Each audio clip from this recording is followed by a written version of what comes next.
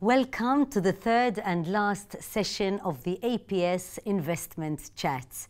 It has been a three-day event whereby I really became informed of uh, these topics which we discussed with uh, experts in the field because the most uh, current investment topics. Obviously, they are changing all the time. So I had uh, the opportunity together with you to become informed of what's going on in the market. And today's session, we will indeed focus now on the Maltese investment market with its challenges and opportunities. And we will also discuss the local market's short and long excuse me, short and medium term outlook. Actually, we're not looking at the long uh, term yet, but the short and medium uh, term outlook will, uh, will suffice for this discussion that we're going to have. We will have a panel discussion with our experts in the field, but we will also have a presentation.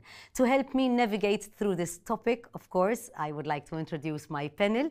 I have Mark Muscat, uh, welcome. I have David Lanzon and Michael Tabone.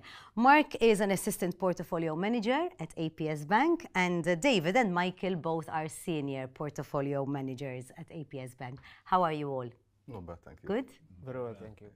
Excellent. So today's uh, first presentation is going to be in Mark's hands, and then we will, of course, uh, discuss open the discussion between us. I would immediately like to let our audience know that they can send in their question through the Q&A section, so please do so at any point during the conversation. We will take on those questions and continue our discussion and answer some of them most of them actually, and then some of them maybe that we will not have time to answer, they will certainly be answered by an APS representative after the session. So Mark will talk about the main differences between the Maltese equity market and the international market retirement. Um, of course, we will explore trends and challenges and opportunities in our discussion later on. But for now, with his presentation, Navigate Local Investments. I hand it over to you, Mark. Thank you, Claire. Good evening, all. So the first, as Claire pointed out, the title of, the, of my presentation is highlighting the differences between the Maltese equity market and the international markets. The first, the first difference is the size, right? The size, the Maltese equity market has a total market capitalization of around 4 billion as at end of October, whereas compared to the Euro Stoxx 50, which is an index that represents the 50, 50 top uh, largest stocks in the Eurozone, has a market cap of 3.7 trillion. Um, our, our, so market capitalization is, is the market value of the total outstanding shares. It is calculated by multiplying the, the, the total outstanding shares multiplied by the market price of, of, the, of the share price of the company. Uh, our, our, our local market represents a niche and confined invest, investment landscape, offering a more limited range of opportunities, but with the potential for localized growth and stability. On the other hand, the European index, with its large market cap, signifies an expansive and dynamic investment arena that spans multiple countries, sectors, and industry. The discrepancy in scale highlights the fundamental difference in the scope risk and potential returns investors should consider when navigating local versus European investment markets. The second difference is the concentration. The Maltese equity market is more concentrated compared to international markets. That means that a few large, few large companies account for a significant portion of the market capitalization. For example, the top four companies on the Maltese Stock Exchange account for 46% of the Maltese equity market. Uh, additionally, the sector composition. Indeed, the Maltese equity market also has a higher concentration in specific industry versus international markets. The Maltese equity market is dominated by the financial services, circa 41%, uh, but there is also a reliance on the tourism, circa 18%, and real estate, circa 10%. These three sectors account for around 70% of the market capitalization.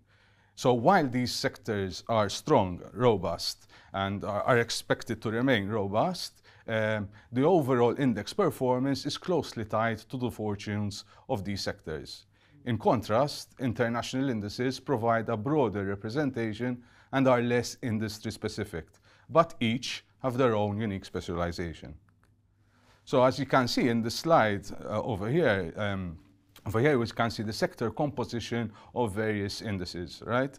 Um, the, the last one, which is the Maltese index, as you can see from the dark green bar chart, represents the financial sector, which is uh, close to 40%. Uh, that represents the in, in, in across Europe, it's the highest exposure to the financial sector. So that's how reliant the Maltese index, index is, is to the financial sector. Second in line, the second largest weighting in financials is the German index. To put, the, to put uh, everyone into context, the, the, exposure to the financial sector in the German index is close to 20%, which is half that of Malta.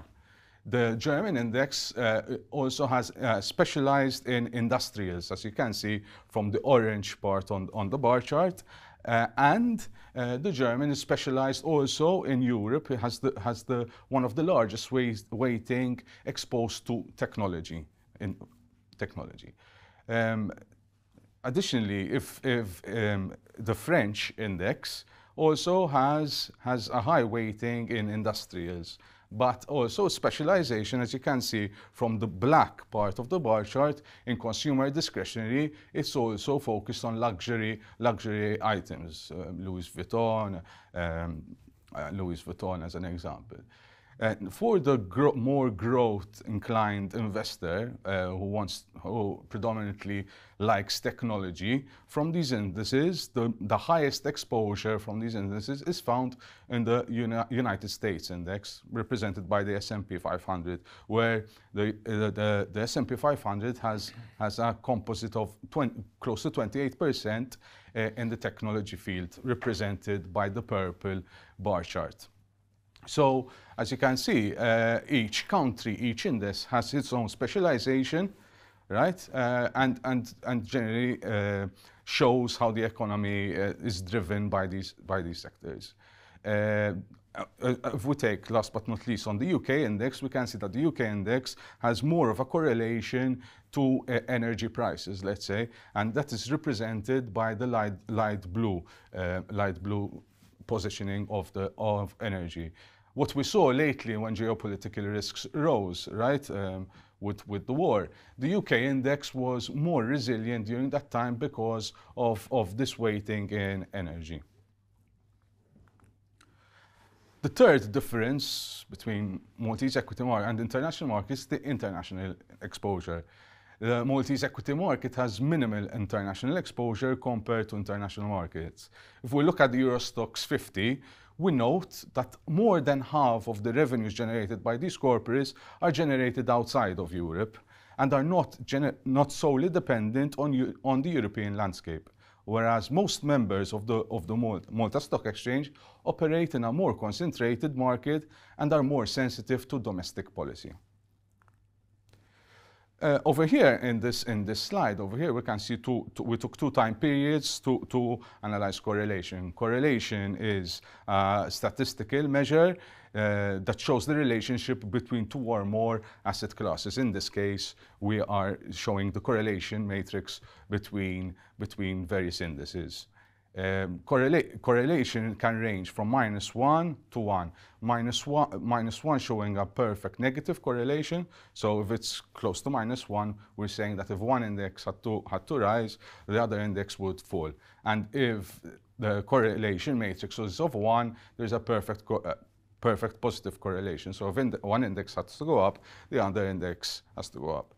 Um, so what we're seeing over here is if we take Multex with vis-a-vis the other indices, as you can see that the correlation over there is of zero. So this is important in, in portfolio construction and portfolio management that uh, if the correlation is low, right, zero is, is low, then it might be beneficial because you're getting diversification benefits in this aspect. Um, so if we have to take another example between the SX5E on, in the heading, and you have to compare it uh, on the one-year correlation matrix compared to the DAX, it's of 0.96. So over there, as you can see, there's close to a perfect correlation. That may not be beneficial in, eh, in the eventuality when there's volatility, because that would show that if the euro eh, if your portfolio has the Euro Stoxx and there's volatility and, and prices are falling, it's you, and you have exposure to the Euro Stoxx and the DAX, both, both of which would, would fall together in tandem together. So again, diversification is important and and within a portfolio, it may make sense to have an index and, and, and, a Maltese index in this sense. The same could be said on the three-year weekly correlation matrix. So the results uh, ultimately were, were very similar to the one year, uh, and that is important for portfolio management. So uh, to highlight this case, right, we, we, we, we took into consideration some events that occurred that uh, asset prices, where asset prices fell. And two events that, that occurred in, when international markets fell were in 2015 when there was the China stock market crash uh, and uh, soon after the 2016 Brexit. So if you can see on, on the left chart, right, when, when both the, the purple purple price trajectory and the light green price trajectory when, when there was the China stock market crash. As you can see, price trajectory was heading downwards. This was not the case for the price trajectory on the, on the Maltex index. So over here, one can see that the, the lack of correlation between international markets and the local markets is evidence in, in, in, in this, in, in this case when there was the, the China stock market crash. Also, one has to highlight during these two, two, two events, the Malta Stock Exchange outperformed the S&P 500 and outperformed also the Euro Stoxx. Uh, from a total return perspective, the Malta Stock Exchange uh, posited 22.35%, whereas if you compare to the, to the Euro stocks, it gave a negative return of, four, of minus 4% within this time period. Also, uh, maybe let's take a more recent case when the, the worst of the COVID hit asset prices, uh, the, worst part of stock markets.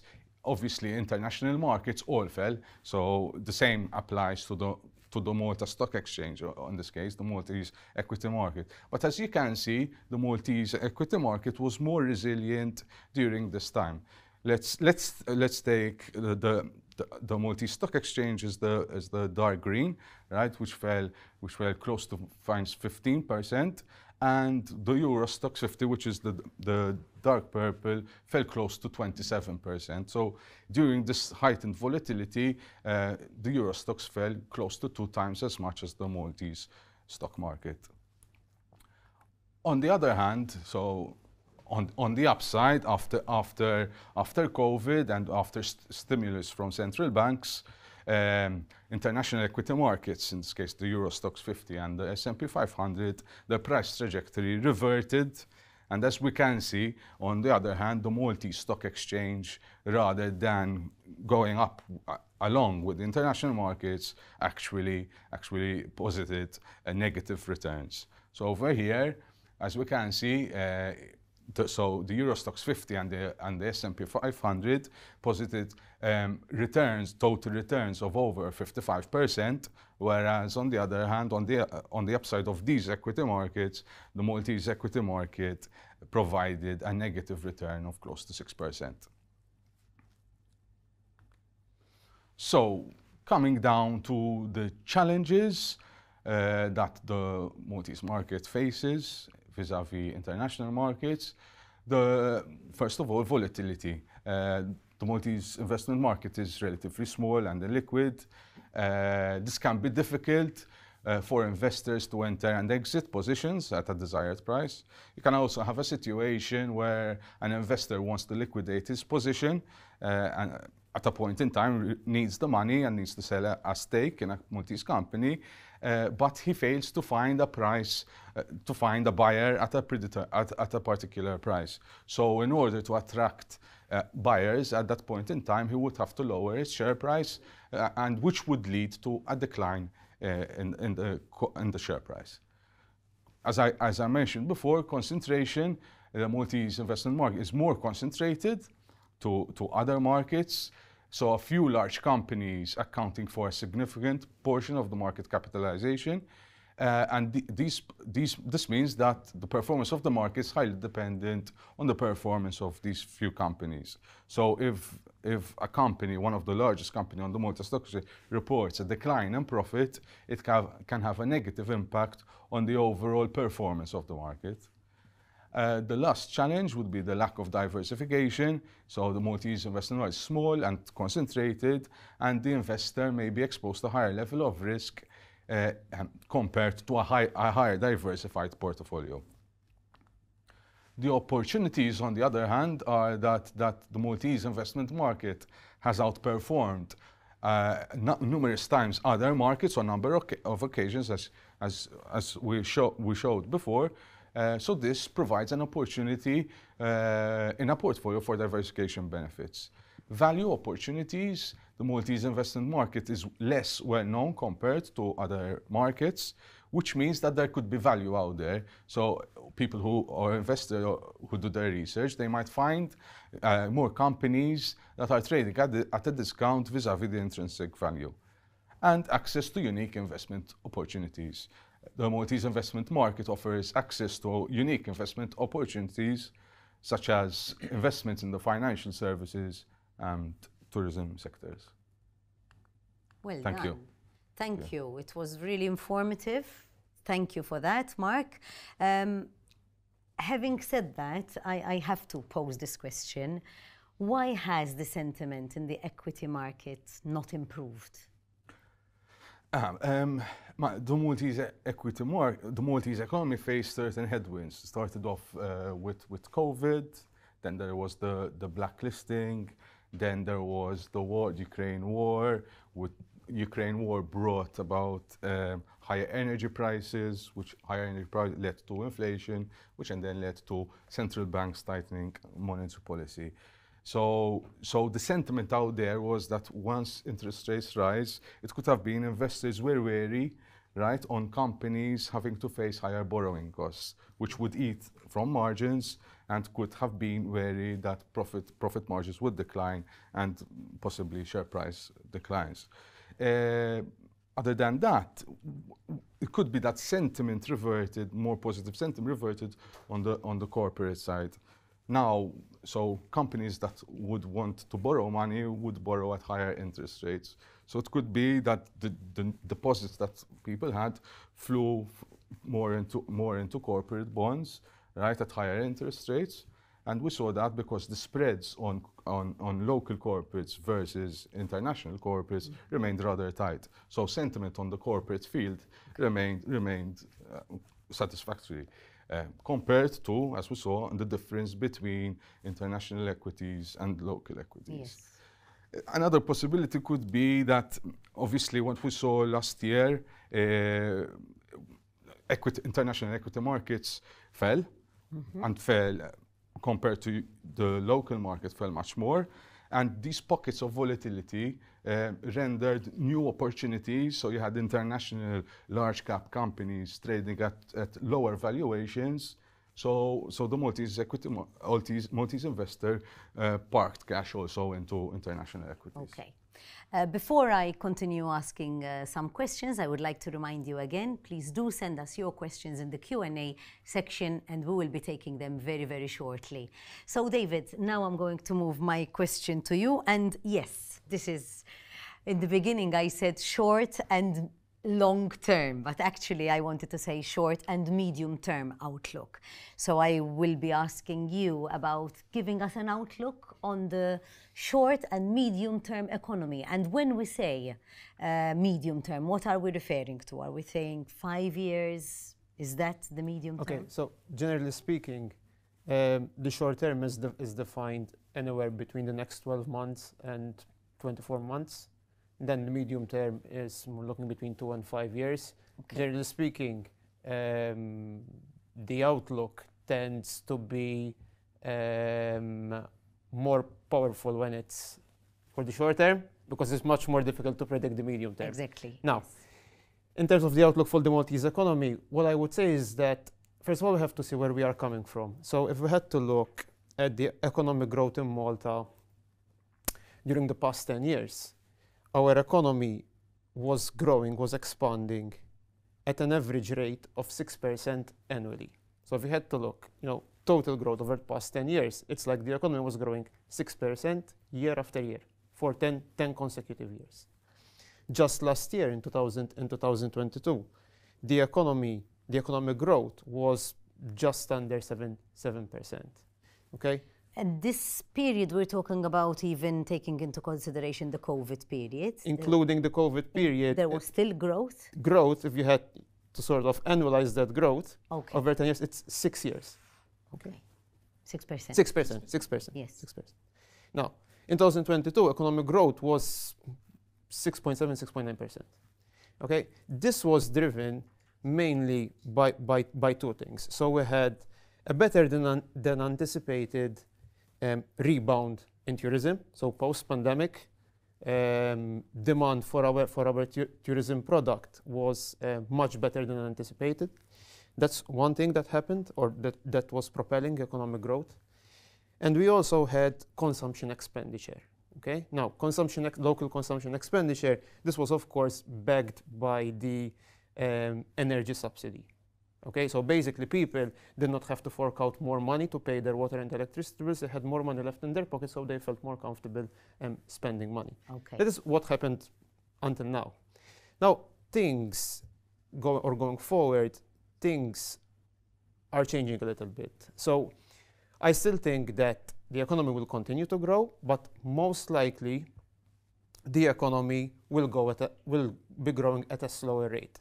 In fact, just this morning, the European Commission updated its forecasts for economic growth in Malta, and the European Commission is now forecasting um, an economic growth rate of 4% in 2023, another 4% in 2024, and if I'm not mistaken, around about 4 to 4.2% in 2000, 2025. Now, what's what's driving this? Okay. Okay, so why are things changing? Why are we not growing at six percent?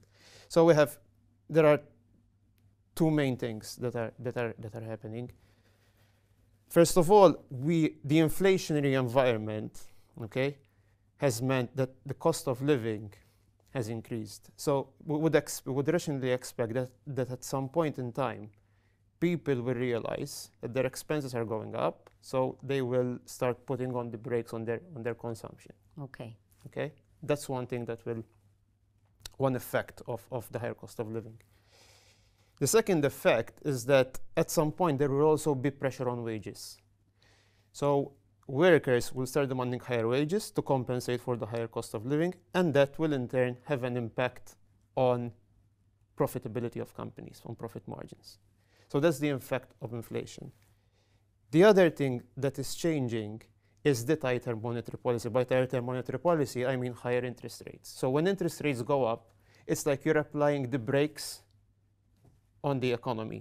So a company that wants to finance its, nes- its next project today by issuing a debt instrument, that company now has to pay more in terms of interest rate than if it were to finance that project three, year, three years ago Ago. that also is putting is, is you know it's it's slowing down the economy. At the same time, keep in mind that Malta is a, is a is an open economy. It depends on its exports, and these two factors, so the, the high inflation and higher interest rates, are also present elsewhere in the world. So think about tourists. So if if our potential clients, let's call them clients, potential tourists, are also facing higher interest rates and higher inflation, probably there will, there will be less demand Exactly. Tourism. for our, for our product. Mhm. Okay? As our demand for our exports goes down, our economy will also be slowing. So yes, in terms of outlook, I think um, I think it's you know the economy will, will remain resilient. It will continue to grow, but perhaps it will be at a slower rate than we were accustomed to during the past during the past 10 years. what I was going to ask, and I will ask before I move on to Michael. Thi- This 2% decrease, so to speak, in uh, the growth. economic growth, how will it translate to the, the way that people spend, to the way that people feel the economy? Will Look- it actually be felt in, in their pockets, or how will it be felt? I think it's it's difficult to say because you know 4% growth the economy is still growing it is just growing at, a, at a slower at a slow at a slower Okay. rate so overall i think generally speaking we should be okay Okay. okay we it's not our outlook we're not forecasting a recession we're not we're not predicting a recession at this point in time Okay. um, and even if you had to look for example if you had to look at our unemployment numbers unemployment unemployment um, remains low this is one of the um, good things about the Maltese and about the Maltese economy, and it is also expected to remain low. In fact, in its in its commentary um, earlier today, the European Commission notes that the um, uh, the demand for workers in the coming years will remain high, and that that shows that you know the economy okay it might be slowing, but you know there is going there are going to be work work opportunities for everyone. So much so that the European Commission also expects that we will need to have um, inflows, um, human capital inflows from outside of the country to support economic growth. Thank you. Thank you, David. To add to that, if I may, Claire, um, just when talking about outlooks, it's also very important to note that there's uh, there are a lot of moving parts. So the, the economy is very dynamic and things are changing all the time. So our outlook also is developing um, uh, together with the, the changes in the environment. If you had to ask someone what the outlook was before COVID, it would be very different um, to what actually transpired. So I think what's important and also what's important for us as portfolio managers and investment managers is to remain dynamic as well when, when thinking about the outlook. So that's what we that's that's the challenge. That's what we try and do. Because of course, I mean, you were there before COVID, doing Right. probably the same that you're doing now. Was your outlook this? I think everyone's outlook was different um, back then. I think it was very This, hard. is, this, this would be a curious, um, out Yeah. of curiosity, I'm asking it because obviously you're in the field. I, I think that there are two points. One is that it, there are certain events that take place and transpire that are inherently very difficult to predict. Uh, and I think even when building portfolios, you need to uh, make sure that they are resilient enough to uh, protect for the things that are difficult to predict, or the, Yes. things that may happen that uh, you, you might not anticipate. Um, and I, I think that's, that's very important when discussing outlook.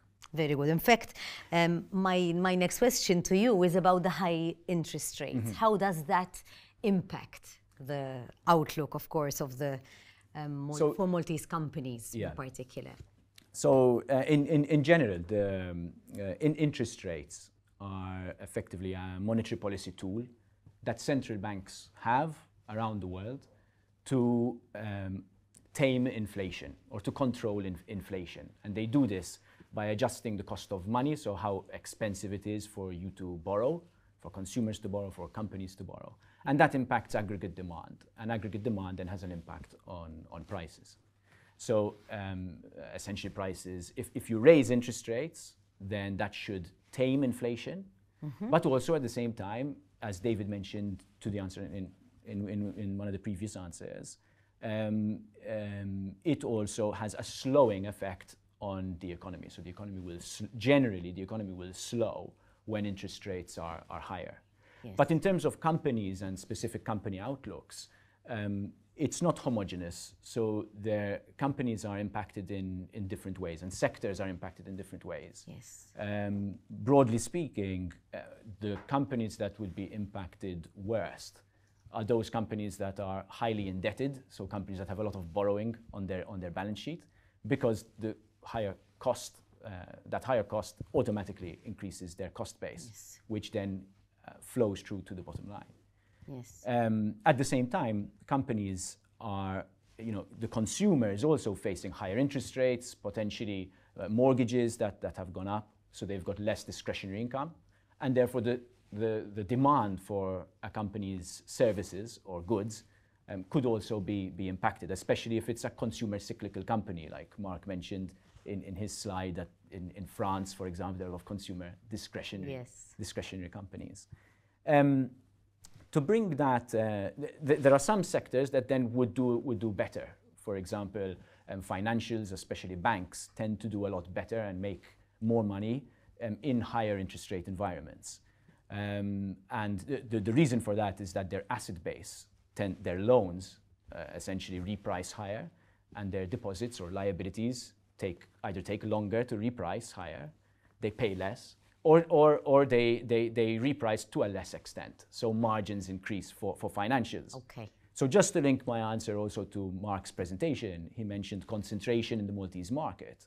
Um, the Maltese market is very highly concentrated to financials and to banks, the Maltese equity market. So possibly um, the Maltese equity market would be more resilient um, in a higher interest rate environment because earnings of the largest companies will be resilient themselves.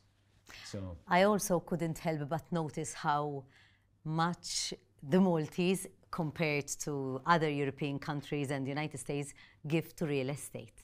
yes, Our color of the block was quite significantly big. I think I think that's something that's really coming from you know That's right. years ago, and uh, it's there. Is it a good thing? Is Um, I, I think it's also it's it's also a bit of a mentality as well that people like to invest in in brick and mortar, and and maybe this is also part of the reason why maybe the equity market sentiment has not yet improved um, as much. Maybe that there's better competition from even brick and mortar assets. So buying and buying to let, there are potentially liquidity is, is moving more towards there.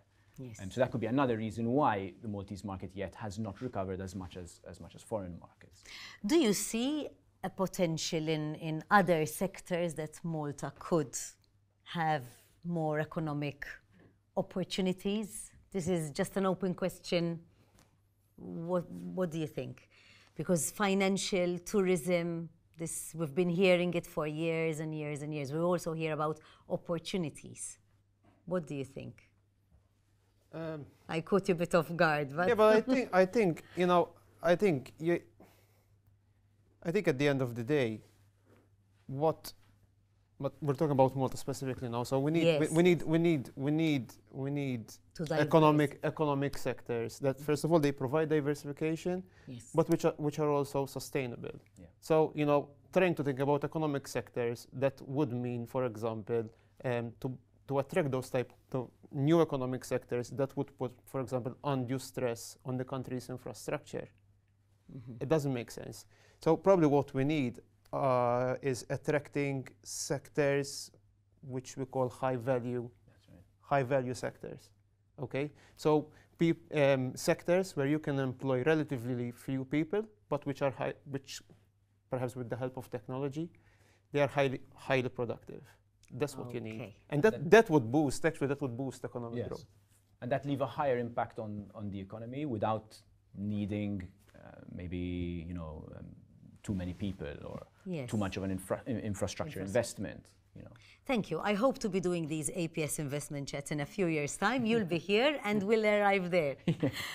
so, turning on to you now, dear audience, please do continue sending your questions. We're going to start them right away. Let's start with the first one. Should the government incentivize investors to channel private pension fund investments into the local capital market, similar to other capital markets worldwide, as a means of creating a more active market?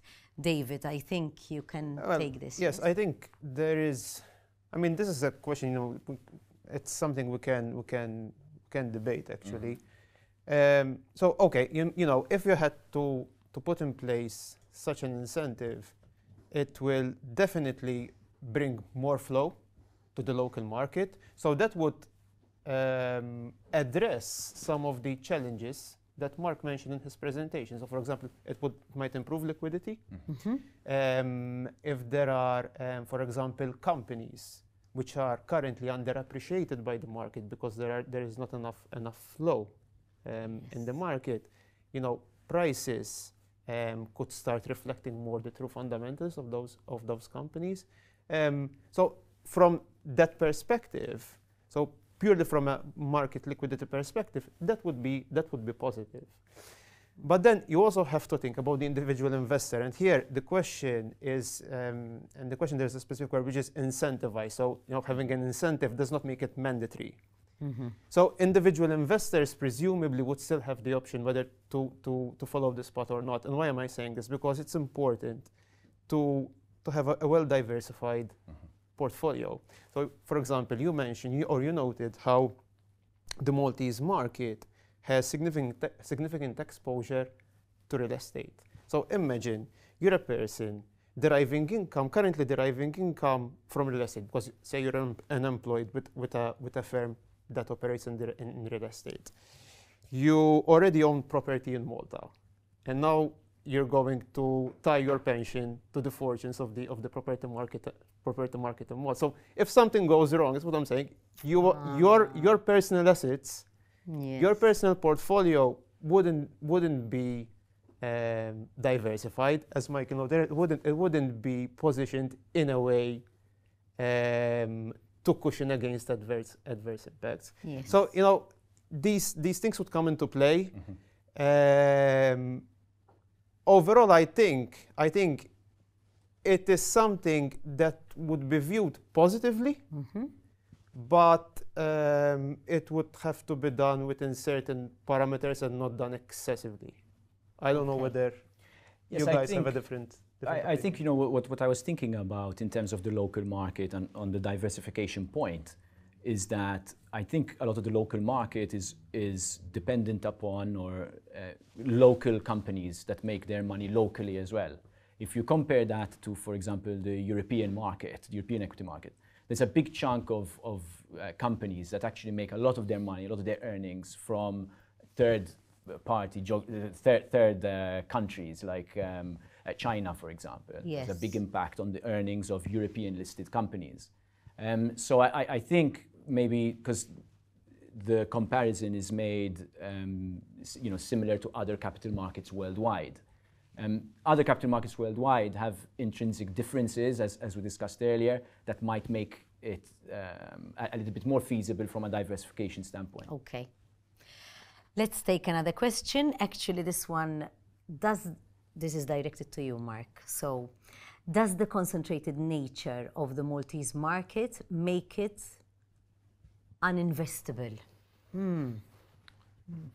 No, no, not necessarily. by foreign? I'm, I'm assuming this question. As that. No, not necessarily. Obviously, there are the risks. If you have a concentrated market, market, you have certain risks that you need to take into consideration. But it could be that at a point in time, right, uh, the the economical cycle would benefit certain sectors, right? So if we concentrate it and the economic cycle benefits those specific sectors, it could be the perfect opportunity to have to have a concentrated index. Okay.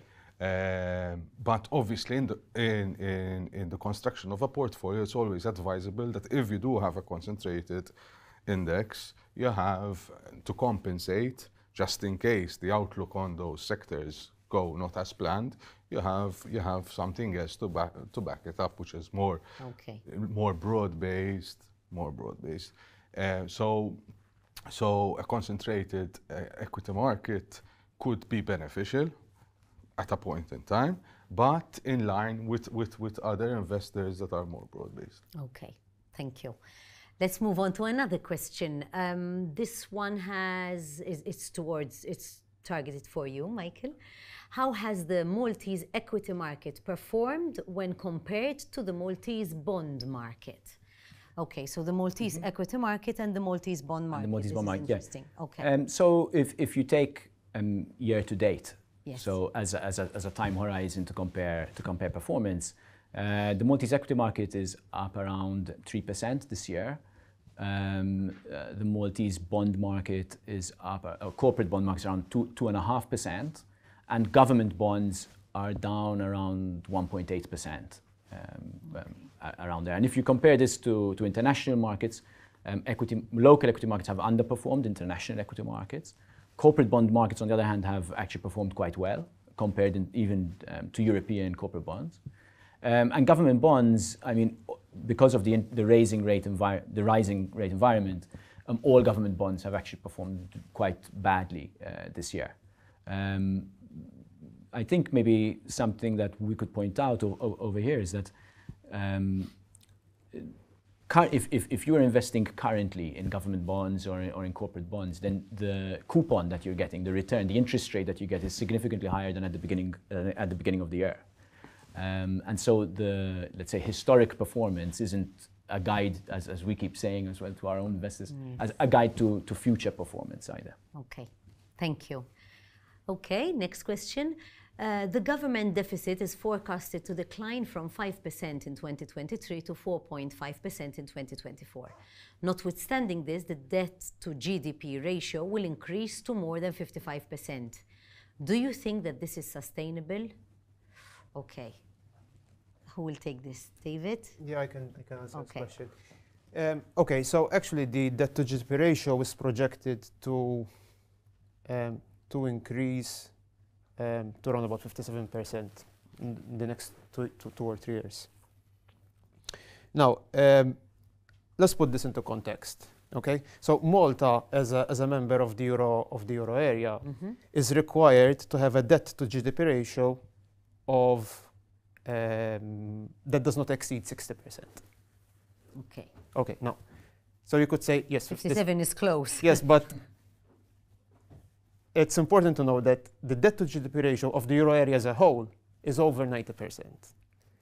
Then you have countries like um, France, Belgium, Italy, um, Greece, I think there are others, which have a debt to GDP ratio which is higher than 100%. Oh. Okay, so viewed in this way, we are in a good position. Okay. Now, so that's how we compare to the rest. Now we need to answer the question is our current stock of debt, the amount of debt that, that the nation has, is it, is it sustainable? Okay, the first step I think is to, is to understand how, how debt comes about. So that comes about when you, when, when you repeatedly incur deficits. So you, incur, you, have a, you have a budget deficit of 1 billion euro. To cover that deficit, you need to issue 1 billion euro worth, worth of debt.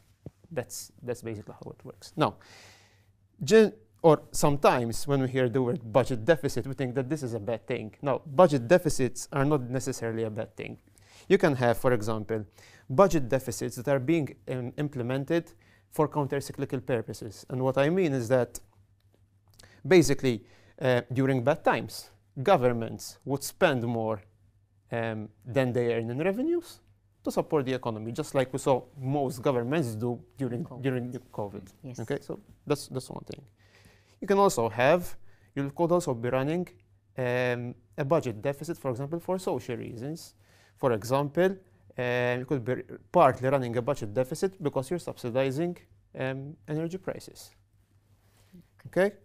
Um, also, you know, if your budget deficit is being caused because you are um, financing capital expenditure as opposed to recurrent expenditure. So you're running a budget deficit to invest in your infrastructure to enable economic growth five years down the line. Yes.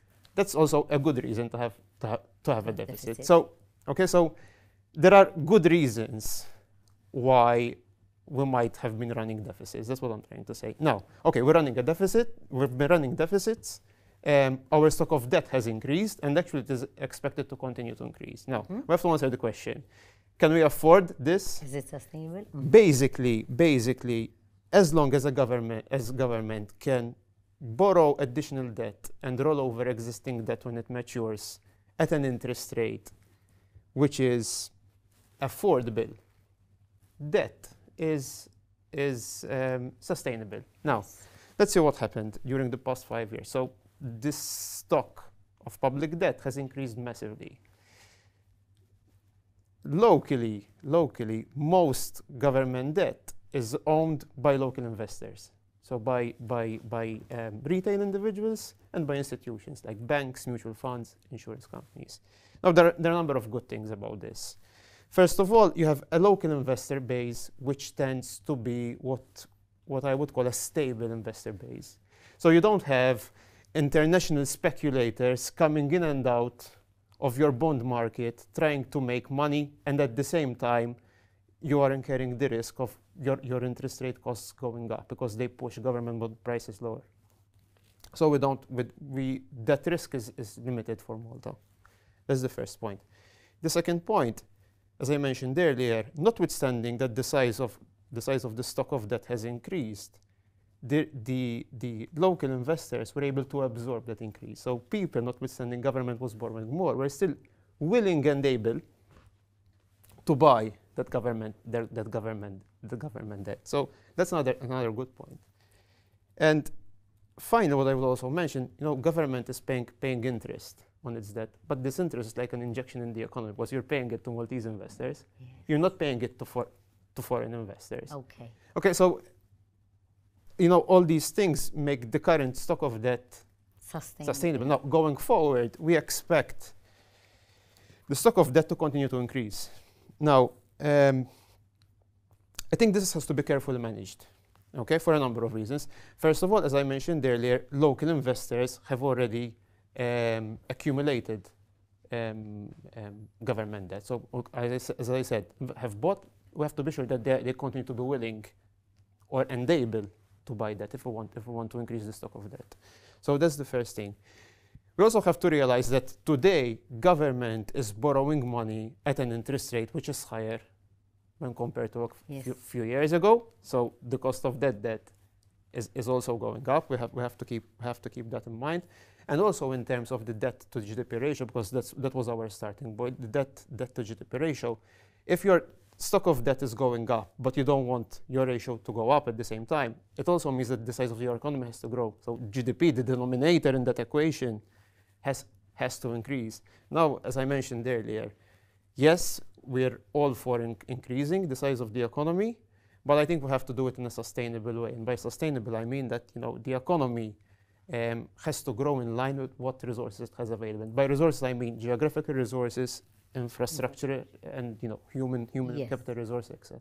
Perfect. Thank you. I think that was a really detailed and thorough answer. So thanks a lot, David, for that.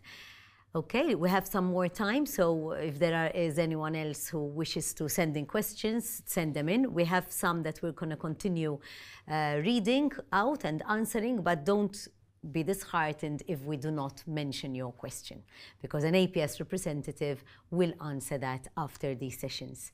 So, in your views, what drivers could potentially give new momentum to the local equity market in terms of trading values and in, in terms of trading volumes and liquidity? Um, who wishes to answer that? Michael? No, yeah, I could, I, I Okay. could take this one. Um, I think we, we could have different ideas uh, about this one, I think. But um, I, I- think a number of things could happen. I, I think in order to give the local equity market a boost and more momentum, I think we need to do, do a few things. We need to um, give investors what they want. And essentially, investors want dividends. Investors want to show, uh, want companies that are producing profits to either justify um, keeping that, those profits, and if they can't justify that, then to pay that out. And because now, now you are competing with, uh, with, bonds from um, top shelf companies in, from, in a local perspective that are issuing at five, six percentage points, and dividend yields are still lower. So uh, this, you, you know, and I, I think um, when you have a number of companies that are generating significant profits, I think the mentality has to be why should I not pay this money out to my investors, as opposed to why should I pay this out to my investors? Yes. Because at the end of the day, those are your shareholders and those are the owners of the company. Um, and I, I think this will also help uh, management of different companies focus more on shareholder value um, ultimately. Yes. Yes. So I think that's one of the things that, that could happen um, to, to boost volumes and to, and, and to boost trading. Very good. If, if you have anything else to add to that, feel free. Okay, let's move on. Let's take another question. How challenging do you think it would be for the government to raise the required sizable issuance of bonds to fund its ongoing deficit and MGS redemptions in next few years of over 1 billion annually, given the high concentration risk of bonds within portfolios of credit institutions? I hope Yeah. it came across. Yeah. I think I, I can take this one. Go on, take Because- it, David. I, I sort of hinted at, at I, I sort of hinted at this challenge um, earlier when I mentioned our investor the investor base for, for, for Malta government bonds Yes. has already taken absorbed a lot a lot of debt issuance. Now w- we need to look at, at, at, at their willingness and ability. Mhm. Um, and of course, you know, um, um, institutions, local credit institutions here, uh, the question is referring to banks. Banks would have, you know, their own their own limits, limit exposures to limits, Yes. diversification requirements, as as do as do at the end of the day retail investors when constructing their their um, their portfolios. Um, I think it is it is of course a challenge, um, and that is why earlier I didn't I didn't sort of um, develop this point earlier, but it's you know when I said carefully managed because at the end of the day there's a price for everything. So mm-hmm. the marginal cost, probably the marginal cost of issuing the next billion of debt might be a little bit higher than it was in issuing the previous billion of debt. Yes. So you know that's why I said carefully managed because you, you don't want you don't want your the interest rate that you're paying on your on your debt to spiral out of control because at the end of the day remember what I what I what I said earlier the the stock of debt remains sustainable as long as you can as you can finance it at an interest rate At which the is interest rate. affordable In fact, it, So if I we have to manage that If I remember from what you said, interest rate, and keep my eye on that in the in the next months, then that's that's it. That's it. That that's what needs to be carefully managed. Proset. Thank you, David. Um, moving on to another question. What would be your suggestion for someone who has invested in the bonds market locally but never invested in equities? Good question. Can we take it that invested in local equities, as they're referring, in the bonds market locally? Yes. It depends on, on various aspects. One, one has to see obviously the risk profile of the client in the sense at what age bracket is, is The the, client. investor, mm-hmm. whether he can take risk, equity risk at a point in time, uh, whether the the age is that you know is um, is uh, has liabilities to finance.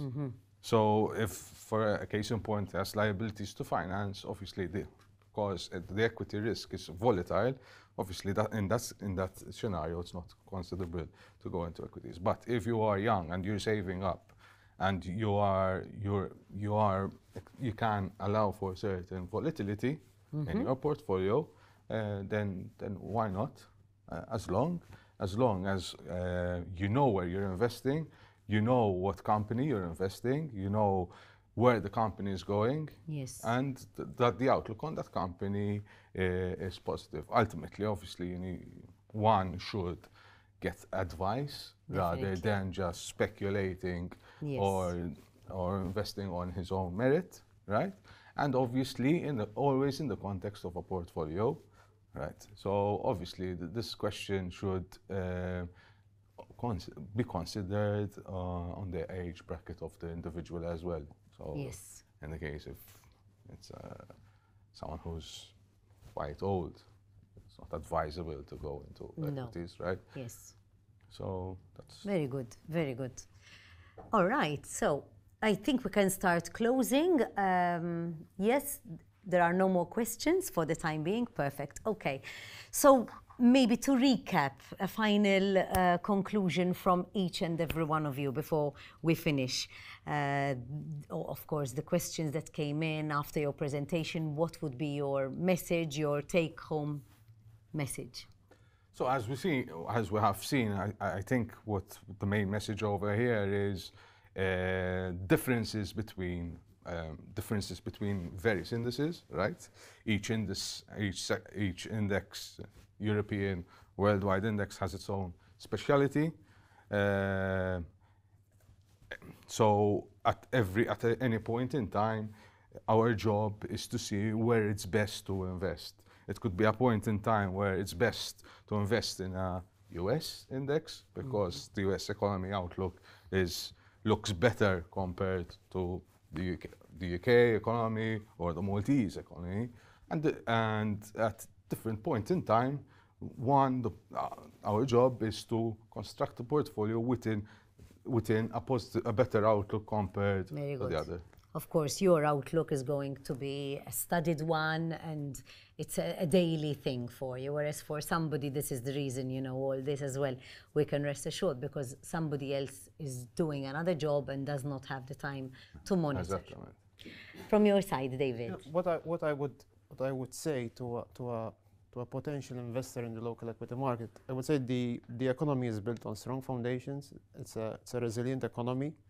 And if you look at the, at the equity market, you had to study individual companies, you would very easily realize that um, the market is currently underappreciating a number of companies, and that underappreciation creates opportunities. Okay, very good. Thank you. Last word is yours, Michael. Thank you. I think I would re uh, reiterate essentially what, what, what Mark has said and uh, what David has said. I think hopefully this served as a, a good introduction and a good, um, let's say, um, analysis of the differences between different markets. Um, and hopefully it will um, spur people to come and, and speak to us and um, for more detailed uh, advice on that yes. particular situation because yes. it's, it's, everybody's different, everyone has different risk tolerances. Definitely. So it's probably best to speak to um, professionals and they can help you diversify your portfolio and ultimately achieve your financial goals. I second that. Thank you. Well, Michael, David, and Mark, thank you very much for, for that very informative chat, which brings us to the end not only of today's chat, but of this three day event. Uh, the APS investment chat has been uh, truly insightful and informative, and I hope that you found that too. I do want to share with you one poll question for all those of you who would like an APS investment advisor to contact you or for more information, but also to benefit from special offers with your investing.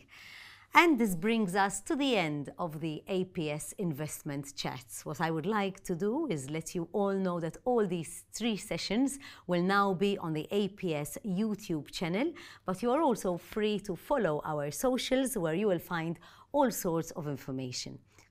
Thank you once again. It's been lovely being here for these three days, and I wish you all a good night.